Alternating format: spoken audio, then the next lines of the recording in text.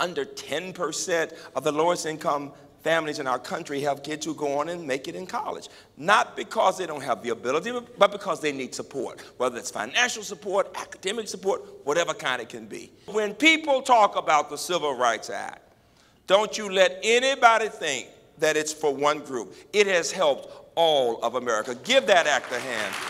It has helped all of America.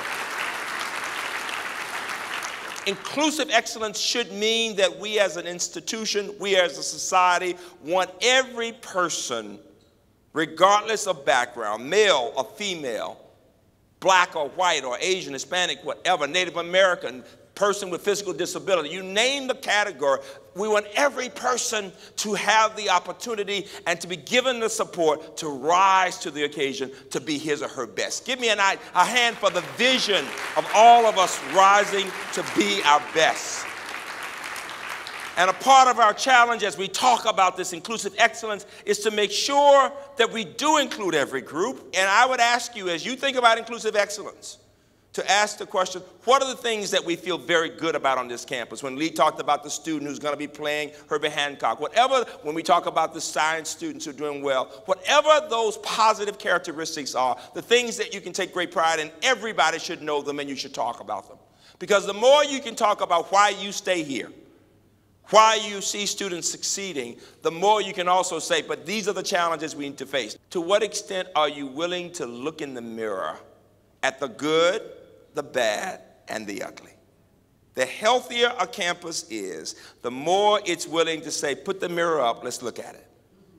And the question becomes, how do we get to know our students well enough that before they decide to walk away, we can pull them back in and help them understand how we can support them. Any environment that focuses on inclusive excellence is encouraging the good questions.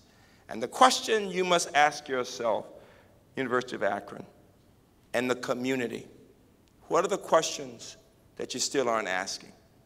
And even as you ask the questions, are you getting robust and honest answers from people? I want all the students to know, wherever you are, you are stronger, you are smarter than you even think you are. It is all about believing in yourself. These faculty and staff are saying to you, they believe in you, and you will be their legacy. That is the point of inclusive excellence, that we want to pass it forward to the next generation. I challenge you, the University of Akron, to watch your thoughts, they become your words. Watch your words, they become your actions. Watch your actions, they become your habits. Watch your habits, they become your character. Watch your character, it becomes your destiny, dreams, and values. You are special, Akron, and you can be even better. Thank you all.